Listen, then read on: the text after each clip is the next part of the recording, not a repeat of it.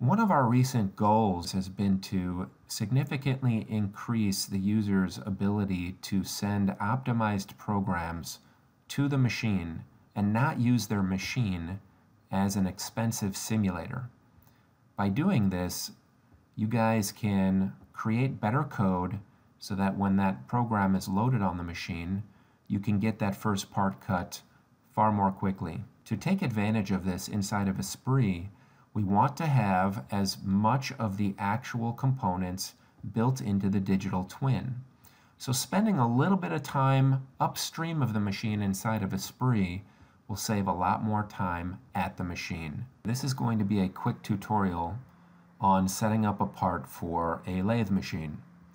So one of the things that you'll notice first when you start Esprit is if you are looking at the file area, you see here that we have an open and an import command. The open command is to open up a file that you've already saved as an Esprit file.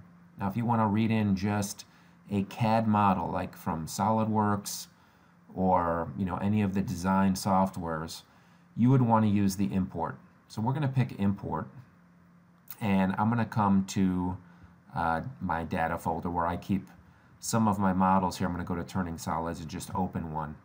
So what we did is we opened up a Parasolid x underscore t file. And you'll see here that the model is not located nor is it oriented in the correct uh, position or orientation. So when you import something, it's going to be highlighted. So if I click elsewhere, you'll see that the model is no longer highlighted. So the same commands are still here. You can right click and say select all, or you can hit control A on your keyboard for control all, and that will highlight your model. So what we want to do now is just, uh, I'll, what I'll do is I'll just right click again and say copy and show you guys that we still have the translate, the rotational commands that we've had in the past. Uh, but we have some, in case you haven't noticed or uh, maybe you're upgrading from an older version, uh, we have the orientation commands. Under the home ribbon, the home ribbon here, you come down here to the middle and we have these align commands. We're going to use these commands. So I'm going to hit control, uh, sorry, I'm going to just pick this face here. And what I want to first do is snap this part so that it's aligned along z. So the z will be normal to this face, and it will put my z0 point at the face that I've selected. So I'm going to come here and just click on Align Z, and you'll see here that my blue z vector is now coming normal from the face that I selected. And the face has been placed at a z0 plane, and now I can see that my part is extending uh, backwards in Z.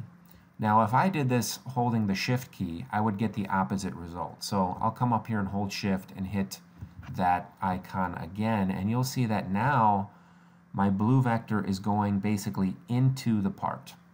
So we can control which way we want. I'm just going to hit uh, that again so that my z vector is positive moving away from the face.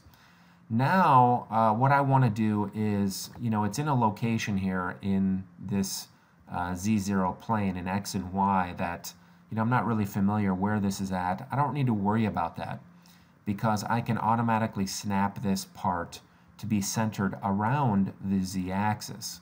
Now I can use any basically turned diameter face. I could pick, you know, the OD face. I could pick an ID face.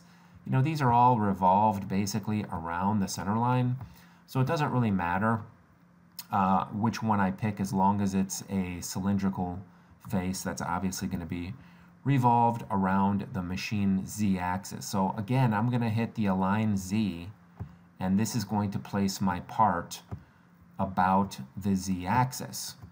So um, that's basically you know, the easiest way to position your CAD model in space for machining.